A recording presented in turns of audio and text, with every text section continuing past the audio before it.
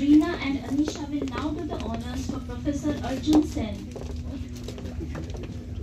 Institute of neuro sciences Kolkata ने 15 अप्रैल 2023 को अपना चौदहवा स्थापना दिवस मनाया। यह न्यूरो साइंस अस्पताल neuro sciences foundation, Bengal, Kolkata नगर निगम और स्वास्थ्य और परिवार विभाग की एक पीपीपी परियोजना है।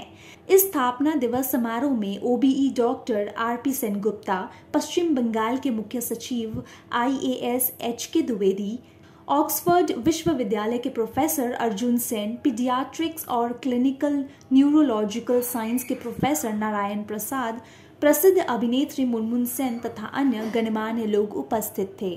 कार्यक्रम अच्छा लगा? ये फाउंडेशन डे था? ये इंस्टीट्यूट ऑफ़ न्यूरो साइंसेस का? प्रोफेसर सेन गुप्ता बहुत दिनों से उनके प्रयास से ये इंस्टीट्यूट तैयार हुआ है। और आज एक अच्छा सा ब्रांड तैयार किया है अपना ईस्टर्न रीजन में नहीं पूरे भारतवर्ष में बहुत से यहाँ पर पेशेंट्स आते हैं केवल राज्य के नहीं आसपास के राज्यों के भी आते हैं और राज्य सरकार सब समय इनको हम लोग की तरफ़ से जो जो सहायता देना चाहती है सहायता देती है uh, are uh, delighted that so many our chief guest uh, is chief secretary of West Bengal and also we have got Munmun Sen and all the scholars from Oxford University and Canadian universities are all here. And so uh, this is a big, big uh, uh, day for us. And I think that we have, as you have heard in my talk, that we have achieved as the best single specialty hospital in India.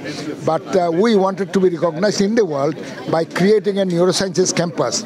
And the government is helping us wherever they can. And they have promised that they will help us more. I'm very happy to be here. Aj, ye neuro science institute में, मैं चाहती हूँ कि हर district में इतना बड़ा तो नहीं हो सकते बहुत छोटा न्यूरोसाइंस की कॉलेज हो, जहाँ पढ़ेंगे स्टूडेंट्स हम लोगों की, या छोटा छोटा इंस्टीट्यूट क्लिनिक्स शुरू हो।